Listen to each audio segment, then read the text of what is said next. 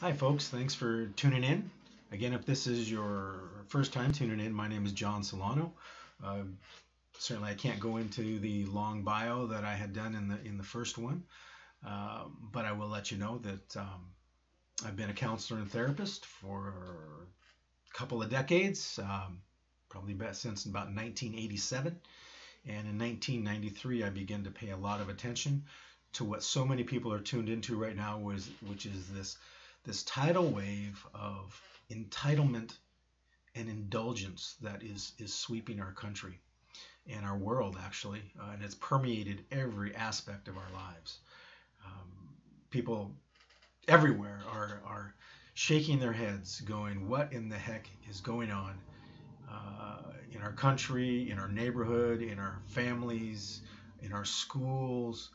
There seems to it seems that you know, all these places are, are confused uh, and have broken away from the moorings of of what used to be morality, common sense. Um, in the following clips, I'm not sure how many there'll be. Could be a dozen, could be a hundred. But I want to explain to you, to share with you, uh, the result of, of my observations and studies um, again beginning in 1993, specific to this this phenomenon, this tidal wave, wave of magnified uh, entitlement and indulgence um, that we are all um, immersed in at this time. And I want to do this um, in the hopes that you will find it not only helpful, but inspiring in a way that will give you the resilience, tenacity, um, you know, and, and, and, confidence to to be a champion in your homes, in your communities, in your workplaces, um, to to uh, stand for what is right and true, if you will, as a matter of of integrity. Um, so what I want to do in this clip, um, very quickly, is is and they'll probably I'll probably have to do a couple of parts on this um, because it, it can be a very quite involved discussion. Um, you know, but before we can begin to look at what's going on in the world and different events, we have to have a framework. We have to have a, a lens that we can look at it with. Um, otherwise, it, you know, it's it, we don't see things clearly. Um, and so I will be giving to you in the following clips bits and pieces of a framework um, in which you know, will give you a foundation. It will give you it'll give you a lens where you can see more clearly how this uh, phenomena of entitlement has has permeated our lives and, and the impact that it's having. Um, but I wanted to just talk a little bit today about about entitlement um, and I'll share with you probably you know in what I in a way in what I call reflections. And so as I reflect on things, you know, I've come to these conclusions or, or witnessed these things. And when we talk about entitlement, think about about it in, in as a matter of true and false. There's true entitlement and there's false entitlement. What is true entitlement? Well, true entitlement is when somebody bestows a title upon you. It's like when you get a promotion or when you graduate from school, you know, from, from high school or college, or, you know, you receive a certificate of, of you know, you, uh, you're authorized, you get credentials for something. Now, how do you end up with those certificates, those diplomas, um, those authorizations? Well, you end up with those because you have conducted yourself in a way um, that has allowed you to meet, if you will, the criteria that's necessary in order for you to receive the, the title. You have acted with humility. You have you have submitted yourself to you know to the to the policies and procedures if you will to the guidelines and expectations and you have stepped up and met those expectations you wanted to you, you wanted to achieve something you sacrificed much of yourself and and and you obtained it. That's true entitlement. False entitlement is when a person, I guess you could say, gives themselves authority, gives themselves permission. It would be, almost be like if someone, if you will, used Photoshop to create their own graduation certificate or, or you know, a false, if you will, driver's license, uh, you know, uh, false identification, false, uh, you know, graduate diploma or certificate. Um, when that person takes that of themselves and has not humbled themselves, has not met expectation, has not gone into a position of submission, um, that is false entitlement. And that is also a state of immaturity. So, mature entitlement, if you want to call it that, mature entitlement, really the cornerstone of that is humility. It's a position of humility. What it leads to, though, is that you become entitled, you receive title from a greater authority. The good news is that nobody can take that away from you. Once you have it, it's yours. It doesn't matter, you know, if my house burnt down to the ground and, and there was nothing but absolute ash, and it burned up all my diplomas and all my certificates that I've earned, it wouldn't make a difference. Right? Because because I didn't give those to myself. If you will, uh, copies of those certificates or you know the person or the or the institution that granted me those certificates they still have them on record. I didn't give them to myself. They're beyond defilement.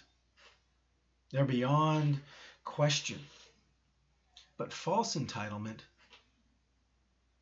uh, is, is, is different a person has to defend it a person has to protect it it can be stolen from them. It can be taken from them. They can be found out to be a fraud.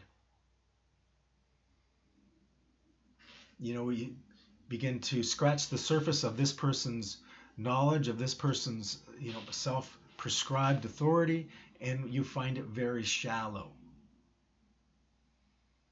Because underneath that, there's an insecurity, because the person knows that they really haven't done what it takes to be entitled. it's interesting that built into our psychological makeup, there's a what I call an archetype of desire and sacrifice. What does that mean? It means that every time that we, if you will receive a freedom, anytime that we desire something, the, psycholo- the, the psyche, the human psyche knows value of that thing by what it has to sacrifice for it. I've always said, you know, I never want to do anything, I never want to belong to a club, if you will, that uh, didn't ask me to give something up. Which, by the way, is a very important uh, principle for all parents. You know, when we when, he, when we just give kids entitlements, when we allow our children to have a sense of entitlement without responsibility for it, what do we create? What we used to call we create a spoiled brat. But actually, what happens is that we cripple the person. The person never really builds the depth of character they need in order to be successful in life. For us as human beings, to build character, to build personal resilience, to build self confidence and self esteem, we actually have to make personal sacrifices when we want freedom. That's why people know this in their hearts. They know that, that freedom requires sacrifice.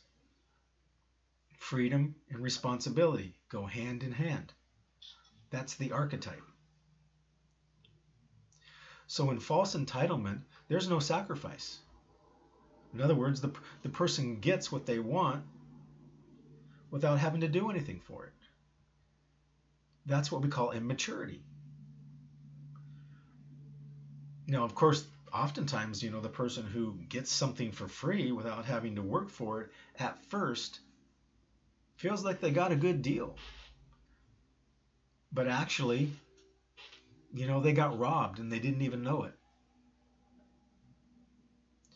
You know, I often explain to teenagers, you know, kind of one way to think about it is is you know okay i say okay you want things to be better in your family you you know you want to get stronger etc but think of it this way like going to the gym. How about we both go to the gym and i lift your weights for you?